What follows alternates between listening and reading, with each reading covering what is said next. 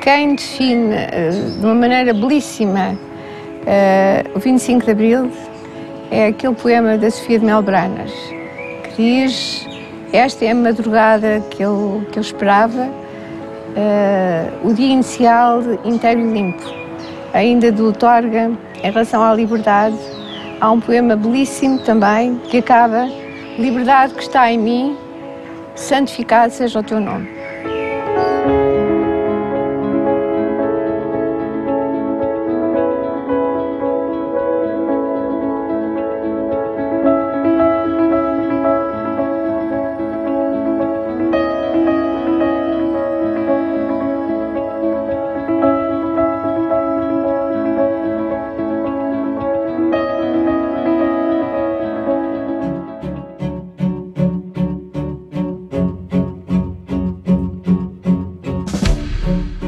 Recebo um telefonema, um telefonema muito cedo do meu tio, que era inspetor da companhia Carris e andava na rua desde muito cedo, a dizer: Ai, qualquer coisa é melhor não levar as crianças à escola que ainda não se sabe muito bem o que é. E depois nós ficámos à espera de ver se sabíamos o que era. E quando soubemos, Uh, demos saltos, abraçámos-nos. Uh, lembro do meu marido andar a rebolar em cima do tapete da sala. Depois vieram as manifestações e a unidade e, e, e o 1 de maio. Enfim, foi realmente uma festa. Uma assistente do Branco que me telefonou e disse que me rebentou a Revolução em Portugal. E e eu disse, tem a certeza? Sim, sim, tenho a certeza. Metemos no comboio e viemos, dois dias depois, viemos para Portugal. E foi muito simpática a viagem, muito engraçada a viagem até Portugal. Chegámos ali à estação, o marido fez um grande discurso lá na, na própria varanda da, da estação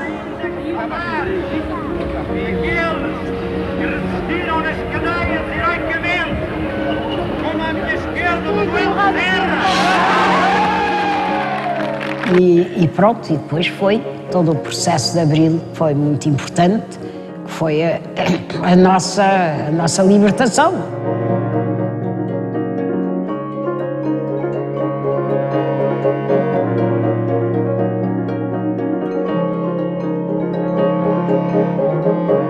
Recordo-me, sobretudo, dos anos de, de, dos anos de grande turbulência e de grande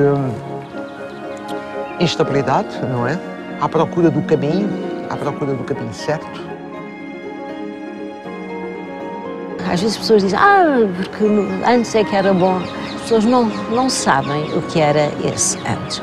É claro que, talvez ainda mais para as mulheres do que para os homens, as modificações não se fazem de um momento para o outro, nem se fazem por decreto é preciso primeiro modificar o que vai dentro da cabeça das pessoas. Porque as mulheres não tinham quase direitos nenhums, não é? Uh, nós, nós, por exemplo, queríamos, queríamos uh, sair do país, tínhamos de ter uma autorização para sair do país.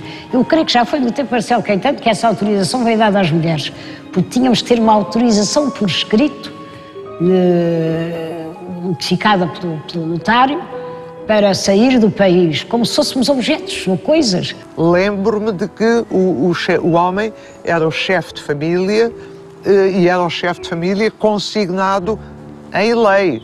Lembro-me de eh, haver a concordata com a Igreja que associava o casamento católico ao casamento civil e não era possível discernir uma coisa com a outra, portanto não era admissível o divórcio. O, o voto que é um, o voto para toda a gente. Antes eu já votava, porque era universitária, já votava, mas sabia que o voto não ia servir para nada, não é? Agora, saber que realmente estava a participar numa, numa eleição, num caminho, numa escolha. As mulheres foram conseguindo, com muito esforço e ao longo de muitos anos, eh, esse tipo, um conjunto de conquistas que hoje as meninas que nascem não têm mais pequena percepção do que é que isto significou.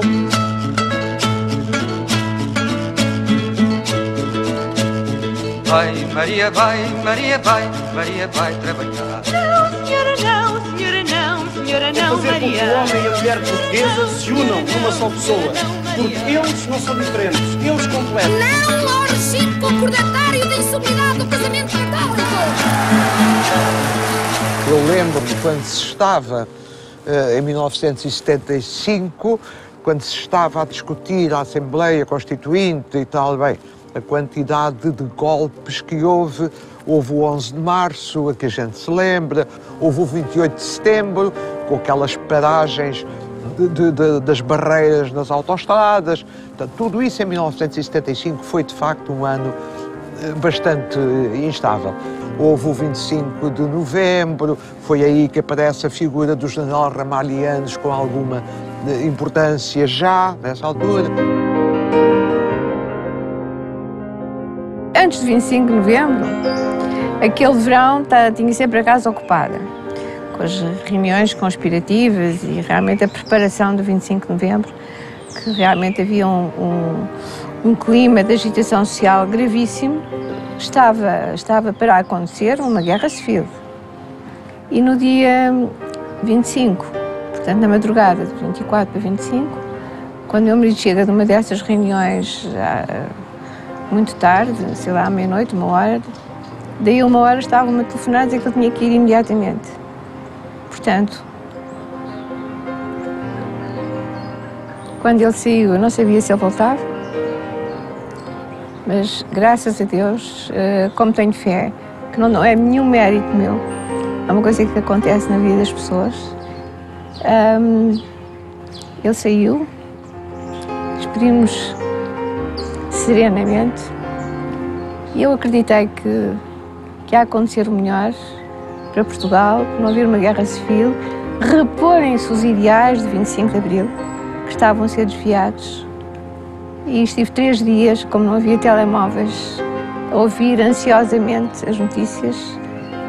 E acho que foi o 25 de novembro que repôs exatamente esses ideais e que hum, consolidou a democracia ah, e deu ah, a todos nós possibilidade de vivermos exatamente ah, num país em, que, em que realmente os grandes objetivos são exatamente a dignidade das pessoas, a vivência dessa democracia e dessa liberdade.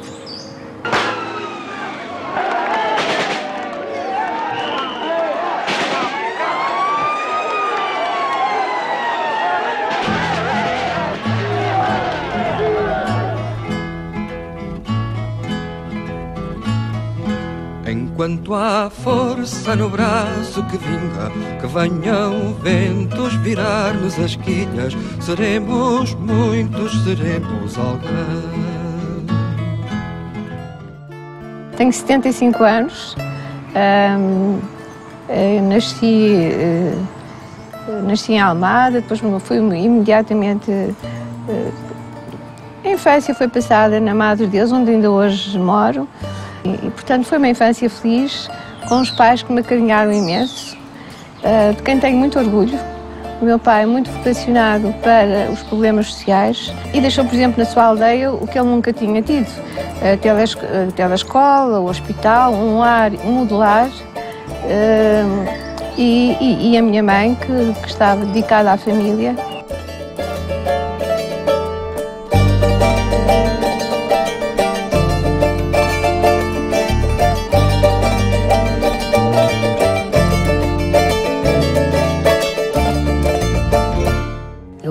Tive a sorte de ter uma grande escola, a primeira grande escola que frequentei, que foi a casa dos meus pais.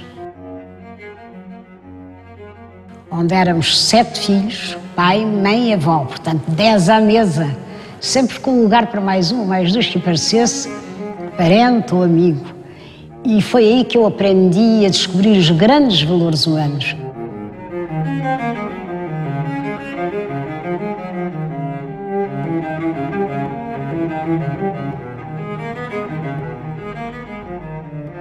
Exemplo, o meu pai era militar e desde muito cedo começou a, a entrar nas, nas- em, em- em movimentos contra o regime.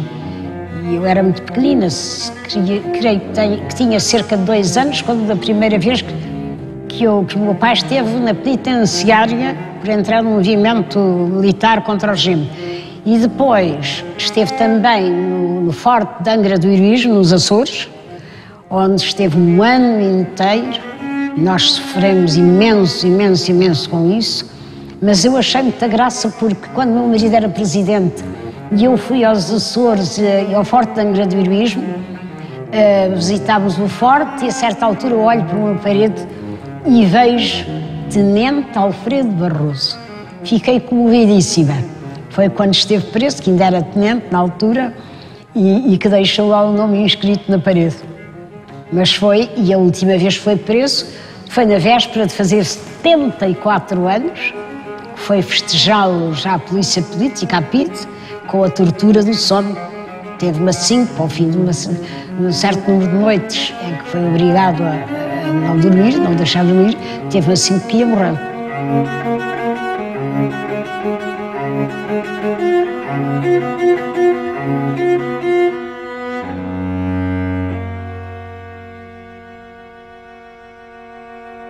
Nasci em 1941, dezembro, e num contexto familiar de, diria, hoje diríamos classe média, média alta. Na altura não se dizia assim, enfim, eram pessoas com alguns meios. Meu pai era industrial, de, tinha uma frota de pesca, portanto tinha fábricas de conserva, portanto era uma, um, um, bom industrial de, de pesca e conservas de peixe. Uh, bom, a nossa educação foi uma educação tradicional, portanto era uma família conservadora, tanto eu fui, toda a minha formação escolar foi feita em, em, em, internatos religiosos, portanto sempre em regime de internato. Tive dessa experiência alguns valores, alguns princípios que guardei para a vida inteira, sei lá, o sentido de responsabilidade, do rigor, a paixão pela excelência, a disciplina, tudo isso, portanto, é muito importante na formação da personalidade e serviu-me de muito depois na vida útil, pessoal e profissional daí para a frente.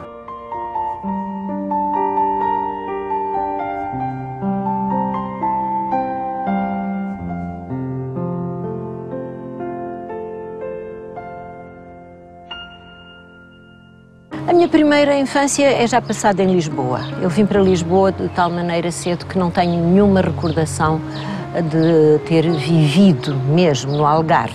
O Algarve que eu guardo é o Algarve das férias. Uh, como é público, a minha mãe morreu, era eu bebê, e essa morte vai alterar a minha geografia, o meu núcleo familiar e até as possibilidades que se abriram à minha vida.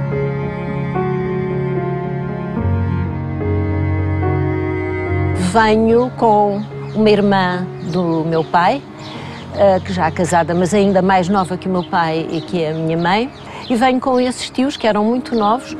E ainda hoje eu digo, deviam ser muito loucos, porque sendo novíssimos, agarraram num bebê que, coitado, não estava de muito boa saúde e vieram com ele para Lisboa.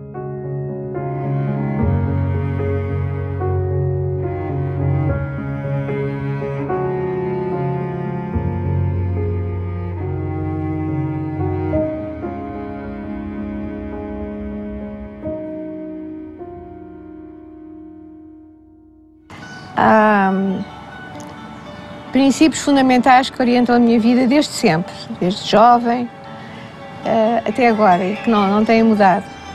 E, e, e há um pensamento humanier que para mim é fundamental na minha vida. Nós só existimos quando existimos para os outros. Como sempre me interessei muito pelos problemas sociais e culturais, queria ser assistente social. O meu pai gostava muito que eu tirasse direito. Não estou arrependida, porque realmente a minha vida toda tem sido na área social e, e além disso deu uma, uma outra abertura a outros problemas, como problemas políticos. Uh, uh, e portanto um, acho que me realizei muito com tirando o curso de Direito, porque consegui conjugar o social com o direito, com, com outras áreas que, que me têm também ajudado a enriquecer profissionalmente. O liceu foi ótimo. Uma grande conquista, porque eu muito cedo reparo que é uma pirralha de 10 anos declarar solenemente em casa que queria ir para o liceu. Havia uma ajuda da professora primária que tinha dito que aquela menina devia continuar a estudar. As pessoas agora não sabem o que isso significava tantos anos atrás. Nem, toda, nem todas as pessoas continuavam a estudar e meninas talvez ainda menos que meninos. E depois puseram-se várias hipóteses. Os meus tios estudavam, uh, talvez escola comercial, escola industrial, e eu declarei solenemente: não, eu quero o liceu. E aí começou uma luta uh, que eu ganhei rapidamente, devo dizer, e fui parar ao Liceu Maria Amália, onde passei sete anos muito felizes da minha vida. Ainda guardo muitas amizades dos bancos do Maria Amália. Quando estava na instituição primária, achei que talvez quisesse ser professora de instituição primária. Quando cheguei ao liceu, aí, não, eu quero ser é professora do liceu. Quero ser como estas senhoras que estão aqui a ensinar. No meu tempo, a maioridade atingia-se aos 21 anos. Hoje atinge-se aos 18, mas na altura só aos 21. E, portanto, foi aí que eu decidi dar um rumo diferente à minha vida, rompendo com algumas coisas com as quais não estava de acordo, uh, algumas das quais uh, relativas a mim própria, ou seja, aos desígnios que os pais na altura tinham uh, relativamente aos filhos e, portanto, não estando de acordo, entendi dar um rumo diferente à minha vida e é aí que começa, de facto, o percurso próprio, com alguma autonomia, que foi crescendo, bom, e que chegou onde, onde estamos hoje. Vim para Lisboa estudar coisas que me fossem úteis. E então foi. Hum, estudei línguas no Instituto Superior de Línguas e Administração, fiz um curso de tradutor e intérprete e depois fiz também um curso de gestão e administração de empresas, já porque era, achei que era importante a parte, enfim, económica, financeira, gestionária e tal, para conseguir arranjar emprego e, e começar uma carreira profissional. Entretanto, portanto, esse, esses estudos foram feitos em horário pós-laboral, porque, entretanto, fazia N coisas, atividades, traduções técnicas, eh, eh, sei lá, secretariado, fui secretária de uma pessoa importante durante muito tempo, fui modelo, isso tudo, imagina nessa altura que não era fácil, era uma, era uma atividade, eh, enfim, relativamente bem paga Gostei de fazer. Ainda hoje é uma coisa de que tenho saudades. Isto tem que ver um bocadinho com, com, o palco, não é?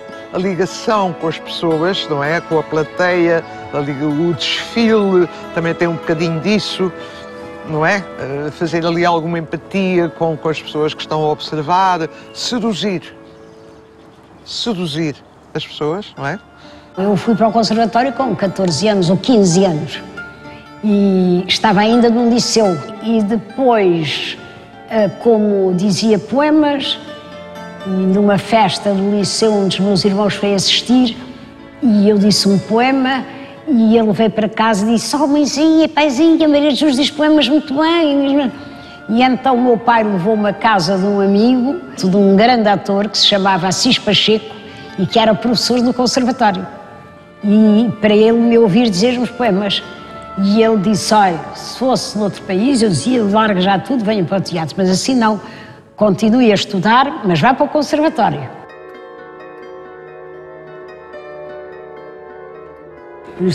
Fiz o curso conservatório. Minha mãe tinha um grande desgosto, não gostava, porque o teatro tinha muito má fama na altura.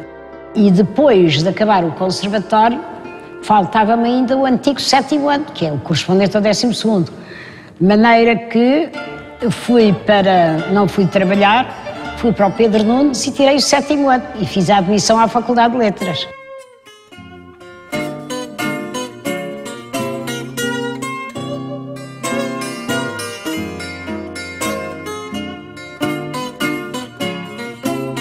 E eu entrei na faculdade ao mesmo tempo que entrei no Teatro Nacional, convidada pela Amélia Rei Colasso, que era uma grande, uma grande senhora, e que foi para mim sempre impecável de consideração e de, de afeto, mas eu gostei muito, estive quatro anos no Teatro Nacional, gostei muito de representar lá.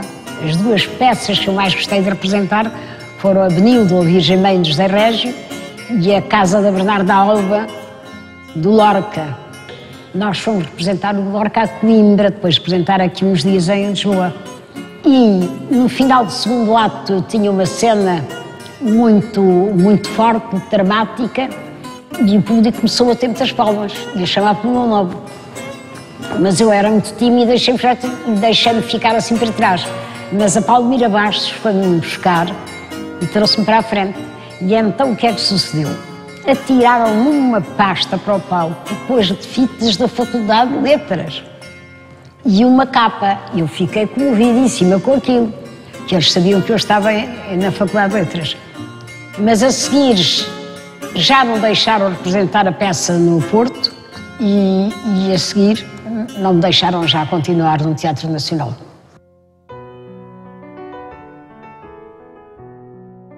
Estávamos em 1967 e eu entrei direto para, para a área de passageiros o Marquês de Pombal era a grande loja antiga da TAP do Marquês de Pombal. Pronto, eu entrei diretamente para aí e, e depois eh, continuou sempre assim. Depois chefe de secção, depois chefe de divisão, depois diretor, depois diretor-geral, depois sempre por aí acima. Pronto, a, a progressão normal eh, na carreira que aconteceu, foi acontecendo naturalmente ao, ao longo destes anos todos.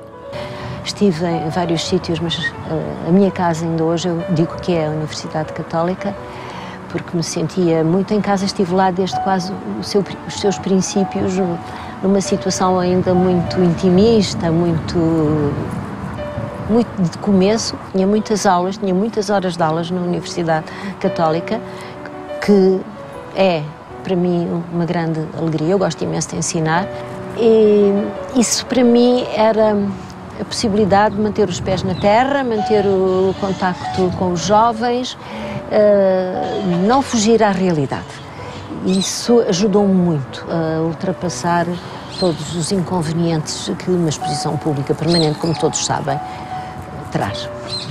Bem, comecei por trabalhar num, num gabinete do, da, do Ministro da Assistência e depois, logo a seguir, no Instituto de Obras Sociais, onde trabalhei com jovens, uh, com idosos e depois uh, tive também uma experiência muito interessante com jovens, diretora de colónias de férias.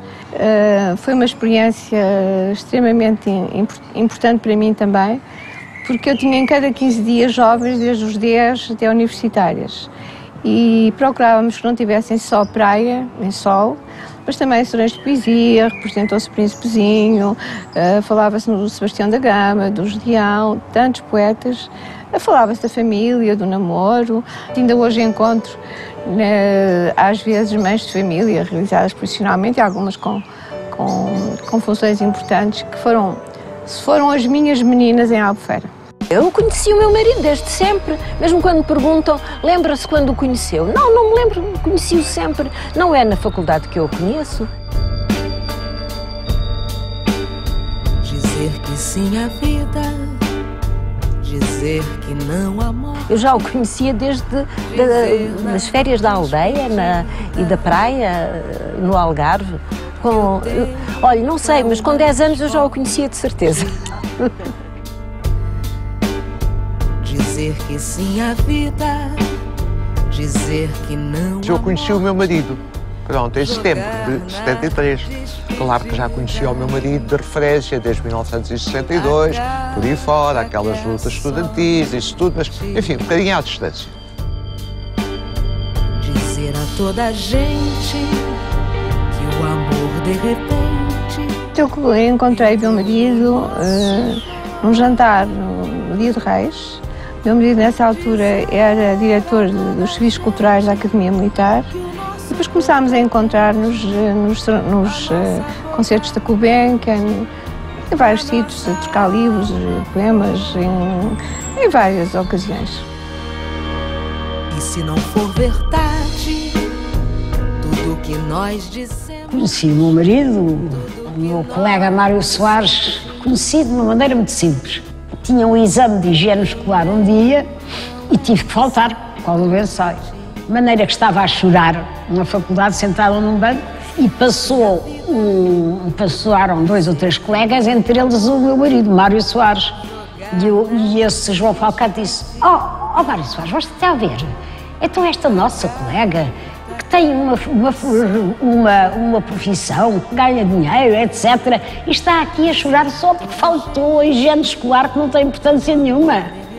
Maneira foi assim que eu conheci o meu marido. É um, um jovem de uma imensa ternura, uh, extraordinariamente empenhado naquilo que faz. Era alguém que chamava a atenção, pelo menos chamou a minha atenção, e não só a minha, que havia muitas meninas à roda, como se calcula, nessa, nessa altura. E depois passávamos as férias juntos, para mim era uma vantagem, que as outras meninas ficavam em Lisboa. E nós casámos no dia 6 de abril de 1974. Porquê é que casámos uh, assim tão depressa? Porque já não éramos jovens, cada um já tinha feito uh, grande parte do seu percurso, não é? Tínhamos 30 e tal anos cada um já, não é? E, portanto, para que namorar tanto tempo e para que o que é que a gente estava à espera? O Jorge é que dizia, porque é que a gente não casa? Eu disse, olha, realmente, pensando bem, porque é que a gente não casa? Vamos casar. Pronto, e assim foi, casámos.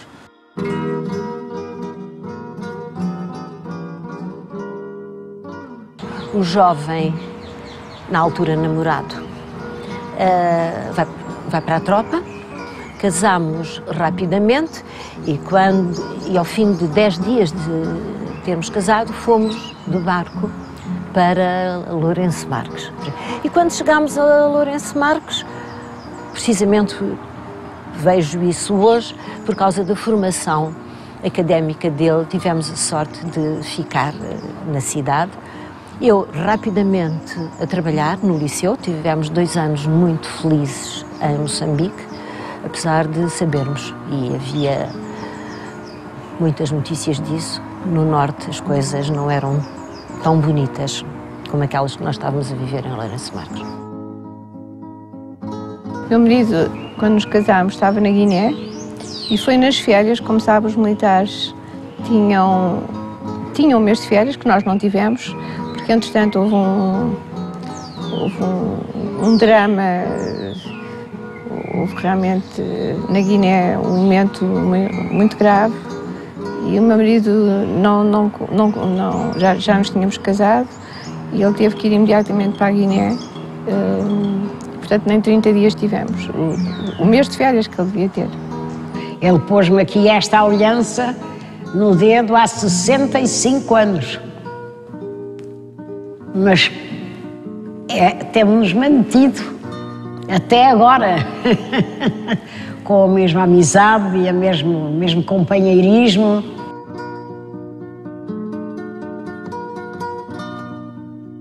A paz, o pão, habitação, saúde, educação. A paz, o pão, habitação, saúde, educação. Pela primeira vez tivemos um presidente em democracia, não é?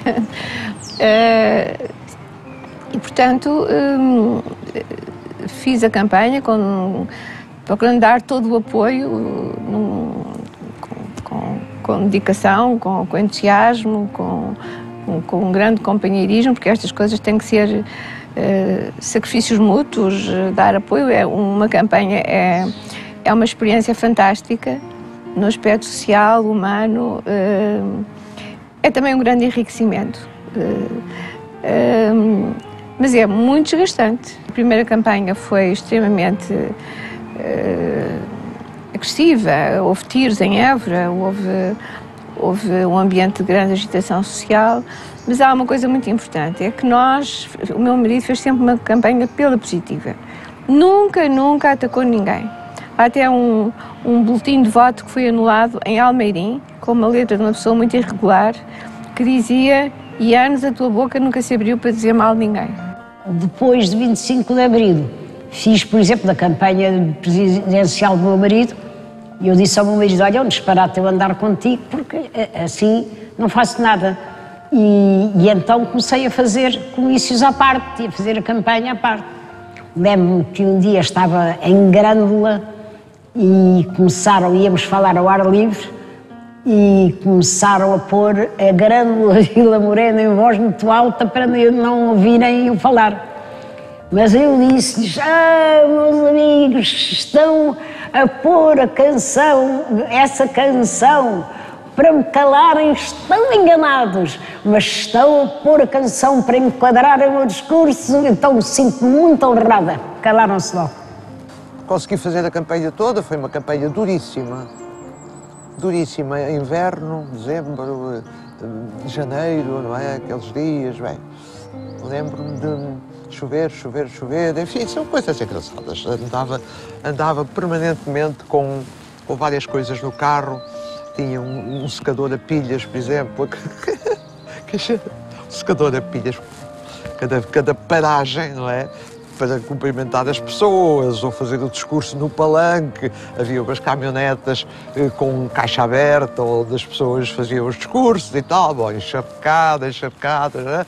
Havia sempre umas mudas de roupa no carro, tudo organizado e tal, de modo que saía daquela é, enquanto durava o percurso até à seguinte, toca a mudar de camisa, toca a mudar, ah, toca a fazer não sei o quê, pentear o cabelo, secar o cabelo com o secador a pilhas, tudo ótimo para a próxima. Isto era todos os dias assim, não é? De modo que tinha graça.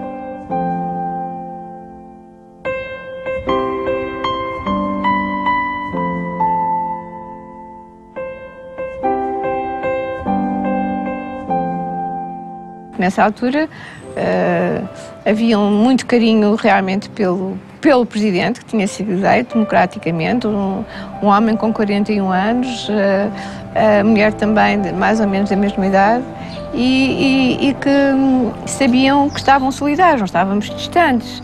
Íamos à rua, falávamos com as pessoas, as pessoas falavam connosco, íamos a qualquer sítio, lá, havia sempre uma relação afetiva, não havia aquela distância do poder.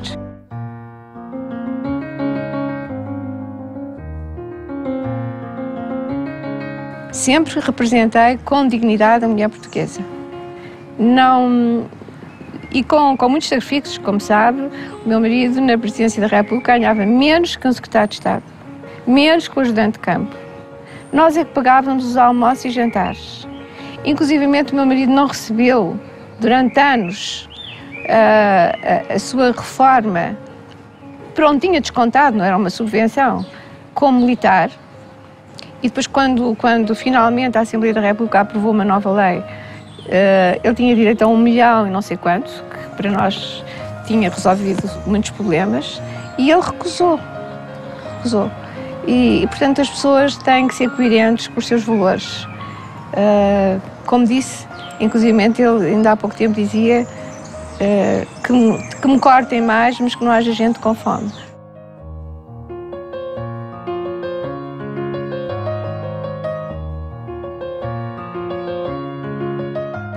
Tomou posse em março, 9 de março, e eu terminei as aulas em junho, mas a partir, nesse, nesses meses em que tentei conciliar as duas coisas, percebi que era difícil ou mesmo impossível. Por isso, a universidade convidou-me para dar umas aulas esporádicas, mais alongadas, até eu atingir a idade da reforma. Faltavam dois anos. E foi assim que fiz, e depois de reformada, estive mais liberta para fazer aquilo que queria. Havia qualquer coisa em mim que me encaminhava para hum, a deficiência, para as pessoas portadoras de deficiência, para quando viajo, para ser uma espécie de embaixadora da língua portuguesa, que é uma coisa que, já que não estava na Universidade Católica, podia utilizar esses meus conhecimentos para ter, dar uma imagem de Portugal, da nossa língua, da nossa cultura, para tudo aquilo que, no fundo, com alguma visibilidade que eu pudesse ter, conseguir melhorar, ou, pelo menos, se não conseguisse melhorar, pelo menos estar atenta às pessoas, estar com as pessoas. Como eu costumo dizer, tenho muito, muito orgulho e, muito, e gosto muito que as pessoas me convidem para estar com elas nos momentos felizes e nos momentos infelizes.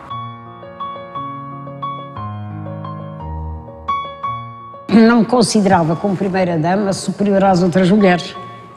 Sentia que era uma portuguesa como as outras, evidentemente com uma consciência cívica muito agudizada por essa circunstância, ainda por cima, e, e portanto procurei ser uma, enfim, estar ao lado do meu marido, discretamente com certeza, porque não fui eu que fui eleita, foi ele, mas eu recebia, nem tinha ainda um gabinete oficial, trabalhava na, na, na parte privada do, do, do, palácio. Nós continuávamos na nossa casa, mas íamos lá todo dia. Recebia muitas cartas que eu procurava sempre responder, porque de facto não, não ser é um ser superior.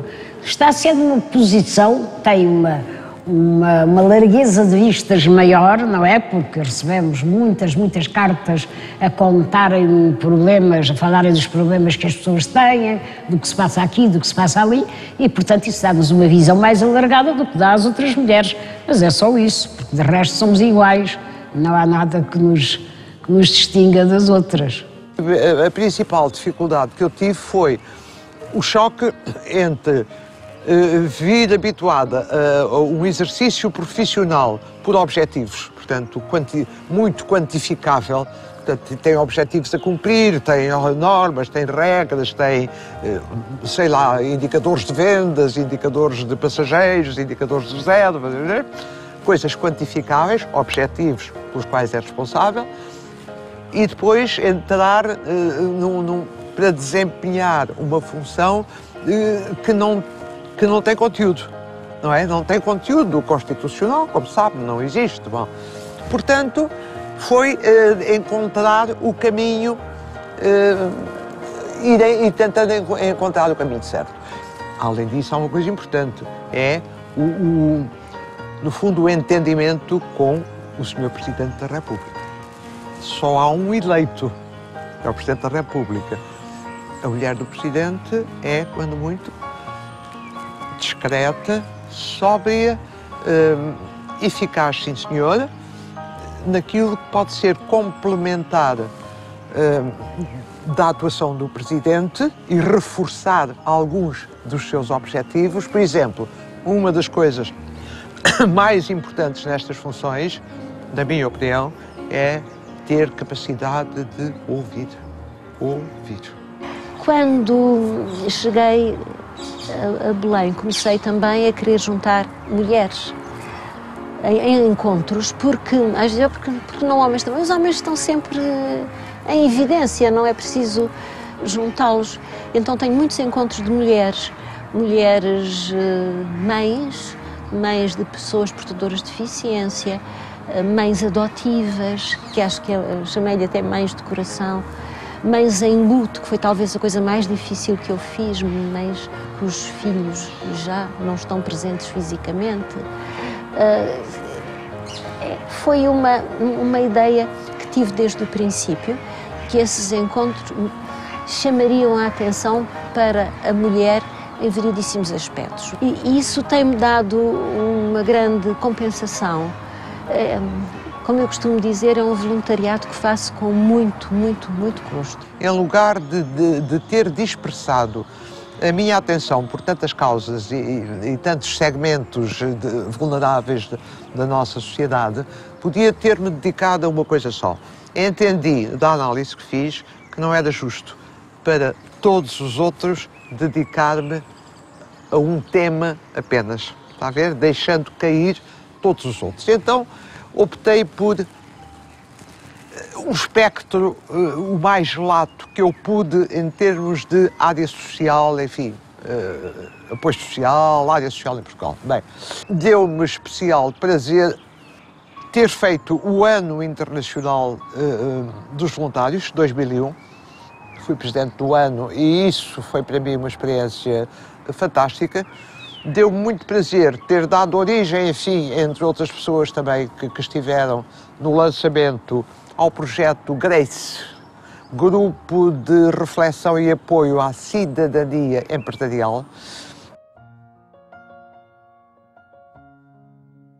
A Fundação do Gil nasceu, foi um projeto que nasceu em 1999, de uma ação conjunta entre a Parque Expo e a Segurança Social. E o objetivo era Tendo constatado que havia centenas de crianças que residiam praticamente nos serviços de pediatria dos hospitais públicos há anos sem fim, sem necessidade de lá estar porque tinham alta clínica, mas não tinham para onde ir a seguir ao hospital, ou seja, estavam internadas não por razões clínicas, mas por razões sociais, então nós pensámos que seria interessante eh, um projeto que desse resposta a esta dificuldade. Moçambique foi uma coisa mais prolongada. Na sequência das cheias de 2000, eh, eu desloquei-me a Moçambique para fazer uma análise in loco de, do grau de devastação eh, das cheias e, enfim, daquilo que era preciso fazer. Porque correu muito bem, muito bem. Portanto, lembro-me ainda de ter no meu próprio gabinete um, enfim, uma espécie de gabinete de crise com o mapa de Moçambique, tipo militar, sabe? Tipo operação militar, com os pontinhos todos, onde é que estavam os caminhões, onde é que estava o projeto A e o projeto B e o projeto C, portanto, O que é importante na, na criação do Secretariado de Ação Social é que pela primeira vez, depois de 25 de Abril, reúnem em parceria instituições privadas e públicas. A Cruz Vermelha, a Caritas, ah, inclusivamente, a Misericórdia, etc. E, portanto, o que se procurou foi criar uma instituição eh, que desse resposta imediatamente, desde o 115 social, eh, ardia a casa, eh, um problema grave com a família, etc. Depois ainda, eh, em 1983, o Instituto de Apoio à Criança. Portanto, o Instituto da Criança era o sonho de muita gente, médicos, professores, psicólogos, eh, eh, várias áreas profissionais que pretendiam que, que se houvesse uma instituição que defendesse os direitos da criança em todas as áreas, saúde, educação, área da deficiência, etc., rapidamente. E porque sei que as pessoas conhecem bem o trabalho há 31 anos do Instituto da Criança, nessa altura não se falava em crianças maltratadas e abusadas sexualmente por todo o país e fizemos a primeira abordagem, mesmo antes da comunicação social. Ah, não havia o SOS Criança, só foi criado em, em 1988 criámos. Continuamos com o trabalho com por amor à criança. Há, há todo um trabalho feito com muita gente, com uma grande equipe. Eu gostava muito de frisar eh, como foi importante a visão do futuro que o meu marido teve em relação à África, porque ele tomou posse em 76 e em, em 78 já estava a ter uma reunião em Bissau, a chamada Cimeira de Bissau, com o presidente de Angola, Agostinho Neto, e com o presidente da Guiné, Luís Cabral. Essa, essa, essa cimeira abriu hum, uma era nova na relação eh, de Portugal com as antigas colónias. E é espantoso, e é bonito, é, é, é- é comovente como é que, logo a seguir, o meu marido, como presidente do antigo país colonizador, visitou todas as antigas colónias, agora países independentes, e fomos recebidos em festa, com um calor humano fantástico. E ficámos amigos de todos, de- de todos os presidentes do- de- do- dos novos países. Muito amigos do Samara Machel e da Graça Machel, que é uma mulher fantástica e com uma grande credibilidade a nível nacional e internacional, de quem sou eh, muito amiga. Eu conheci grandes figuras, grandes líderes europeus. O Olof Palme, na Suécia, o, o Willy Brandt, na, na- na- na Alemanha, o Kreisky na Áustria, o Mitterrand na França. Conheci muitos, muitos, muitos líderes europeus que fazem agora falta. Não existem. E agora conheci este Papa extraordinário, extraordinário, que vai ajudar a melhorar o mundo, estou convencida disso, que é o Papa Francisco. É de facto uma pessoa que dá um exemplo da doutrina de Cristo. Todos aqueles grandes princípios que a gente lê no Evangelho, etc., vê ali praticados por ele com uma naturalidade extraordinária. E agora este encontro com o Papa deu-me uma grande tranquilidade em relação à partida, porque já sou muito velha, estou quase a partir, de maneira que encaro isso como uma, uma naturalidade grande.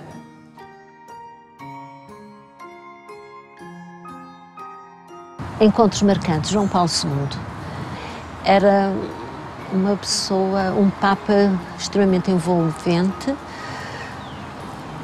jovem, quando eu o conheci ainda era bastante, bastante jovem. Depois, nas outras pessoas, eu diria que aquela que está mais próxima de mim por geração e por encontrar muitas vezes e já ter um contacto muito longo é a Rainha Sofia de Espanha.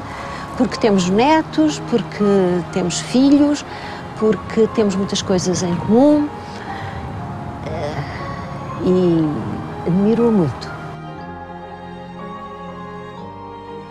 Não sei quem é que me marcou, não sei medir quem é que me marcou mais ou menos. Sei que toda a gente me marca, não é? Portanto, quando a gente encontra alguém uh, e dialoga e, é? e, e consegue comunicar, uh, toda a gente nos enriquece e, desejavelmente, também nós queremos contribuir para para que alguém fique mais rico, ou pelo menos pronto, tal e qual, como é gratificante para nós, também eh, pomos, eh, enfim, o, o desejo de que seja gratificante, ou para quem nos recebe, ou para quem a gente encontra, ou para quem nos visita, não é? E eu estou falando de gente, enfim, de visitas de Estado e lá ou cá, ou... sempre que a gente encontra alguém, a gente fica mais rico.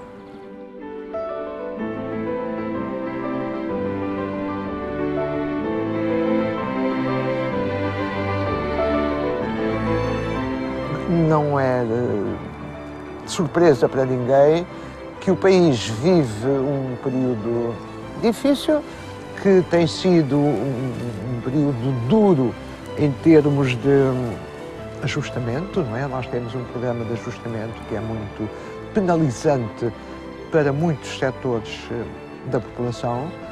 Bom, e, e acredito que se faz todo o possível para menorizar os efeitos eh, da crise, mas eh, que não, enfim, que de algum modo se percebe que está para durar ainda algum tempo, não é?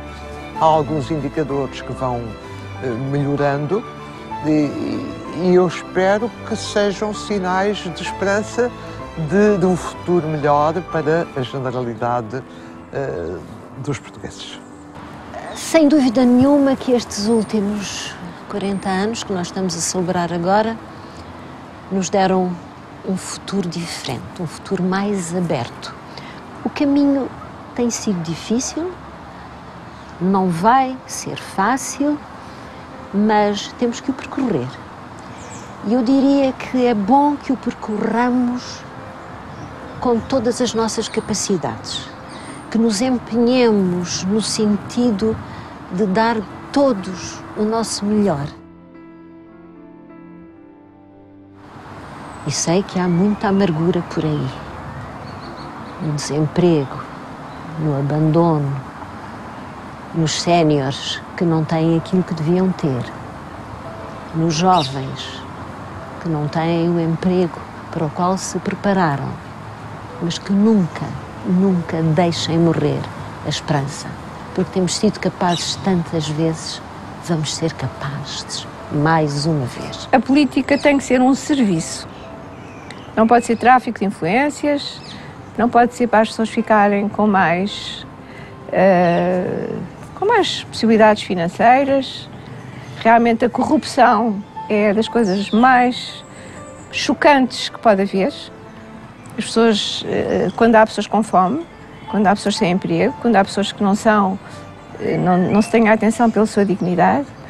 E, portanto, hum, nós temos que fazer tudo que nós pudermos e temos que ter uma sociedade civil forte. E, e, por exemplo, nós lançamos um grupo de pessoas diferentes áreas profissionais de todas as religiões, católicos, hindus, muçulmanos, judeus, pessoas com uma grande, eh, com uma grande um, credibilidade moral e cívica, assinaram este e fizeram parte deste movimento da sociedade civil solidária. As pessoas, a sociedade civil tem que ser uma sociedade civil forte, motivada e que tenha que sinta a obrigação moral e cívica de lutar pela dignidade e, e contra a exclusão social.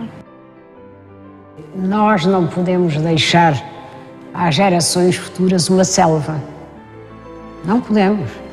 Temos que deixar, e isto no mundo está muito, muito, muito, muito difícil. Veja que na França a Marine Le Pen teve uma boa classificação. E noutros sítios pequenos grupos nazis aparecem. Não podemos deixar que isso seja reavivado. É preciso que a democracia seja a grande vencedora e que ela impere em todos os, os países para que os povos sejam felizes, para que não haja mais perseguições, prisões, etc., mortes, como estamos a assistir em alguns países.